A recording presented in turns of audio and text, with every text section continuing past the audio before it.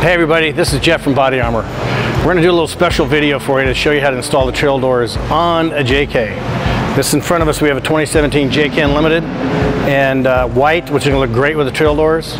So uh, stay tuned, we're going to start the process.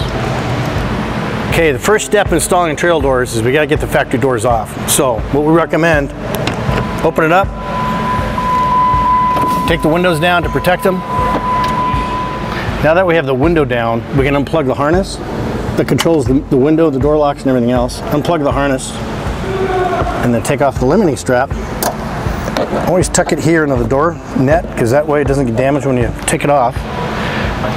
Got the pins off, mirror fold away, mirrors, windows down. Now we're gonna take the door off.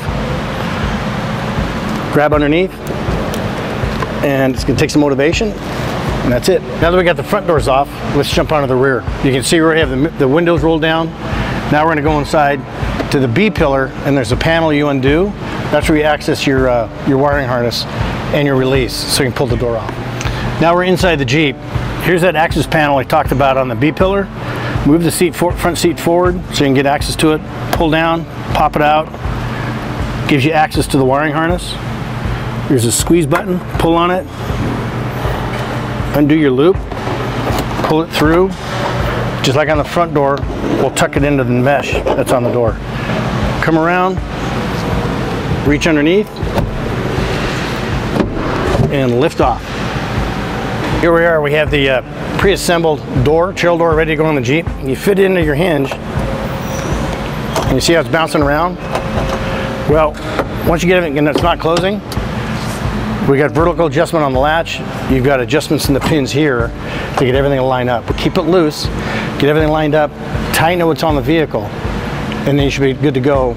Okay, here we are. We've got the door all tightened up, lined up. You'll notice something. We've got our mirrors installed. This is our 5126 mirror kit. What's cool about using these mirrors, keep your factory mirrors on your doors, on your factory doors. Put these on, it makes the switch out real easy. Fold it out, you're good to go. The door's on, pins are down, Latch is lined up nice and tight. Next step, webbing. You notice we have padding, top and bottom. Lay the padding over the top rail, lay it over the bottom rail, and then we have Velcro to secure it. Top and bottom. One last adjustment, we got these little loops to go on our speed gussets. We got on the back as well, keeps it nice and tight. What's really cool about this webbing, it looks cool, but no branches are going to come and get you when you're on the trail.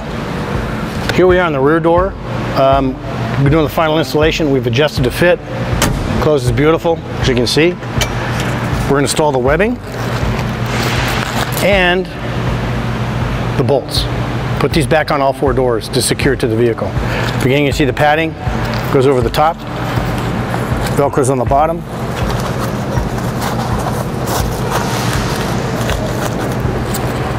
Velcro in the loop.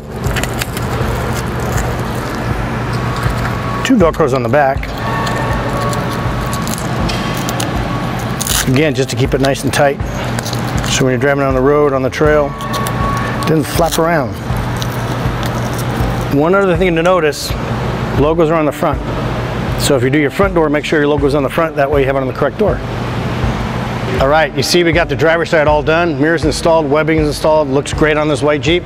Next project, other side. Same process, just repeated.